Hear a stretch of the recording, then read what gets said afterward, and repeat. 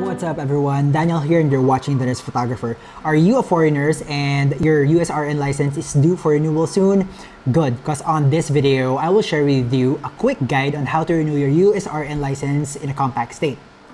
My USRN license is under New Mexico Board of Nursing and they sent me an email the first week of April reminding me that my um, USRN will expire the end of May 2022. To renew my USRN license, I am required to accomplish 30 units or 30 hours of continuing education one unit is equal to one hour, hence I have to accomplish 30 hours of CE.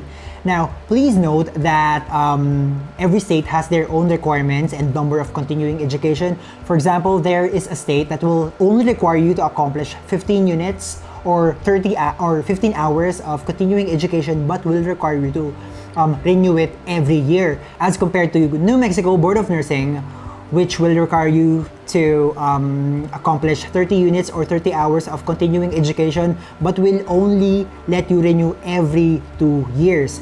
Also, take note that some states will require you to take um, specific um, continuing education topics where in other states they don't require certain topics. Just accomplish the required number of units, pay the renewal fee, and you're good to go.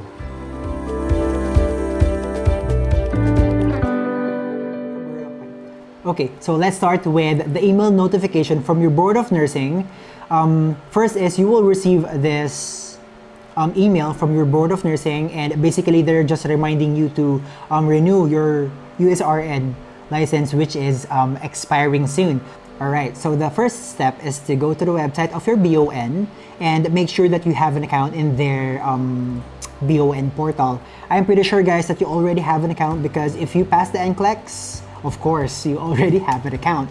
So, um, as you can see here in my profile in the New Mexico Board of Nursing, um, my license is due for renewal by the end of May and I will click this apply for renewal.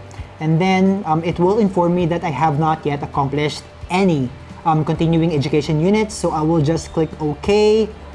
And then on the next page are the um, application instructions and how to um, renew or how to um, yeah how to renew your um, license and then just scroll down um, click on next and then there. So as you can see on the next page um, there is a list here of um, the recognized approval bodies for the continuing education for nurses.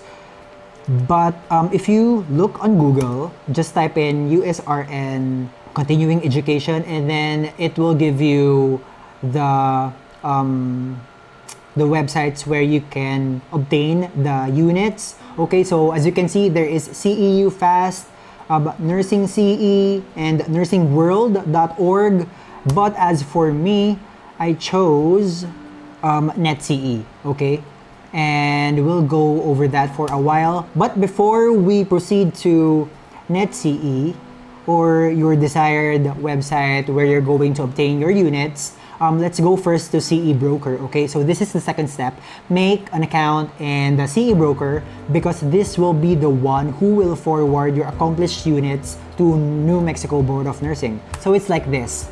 Board of Nursing needs 30 units of continuing education. So on step three, you will select the website where you will um, accomplish the units that you need. And then these websites when you accomplish your units they will upload it automatically to CE broker which is step 2 and CE broker will be the one who will forward your accomplished units to New Mexico Board of Nursing or your desired um, Board of Nursing okay? So that's it. I don't know if that's quite confusing but it's actually just um, three steps okay? So step 3 is um, go to your desired website where you will um, accomplish your continuing education. Again, there is um, nursing, CE, and other websites. But for me, I chose NetCE because for me, I believe that NetCE is the most convenient and not that complicated. So here in NetCE, um, just make an account and then um, it will inform you the required um, number of units depending on your board of nursing and then just click um, X and then they will automatically give you 30 credits and three courses that you need to accomplish. What I like about NetCE is that they will um, automatically give you topics that is equal to your required number of units. Okay, so this um, courses that they gave me is equal to 30 units or 30 credits, which is equal to um, 30 hours. So what I did, of course, because this is what I need, I just add to order. I just click add to order, and then after that, um, just pay for the required amount. Okay, so continue with the checkout, and then you will receive this um, special offer. Um, for me, I don't need this, so I just click no, thank you and just proceed with the payment okay? So once you are finished with the payment um, you can start studying for the courses okay?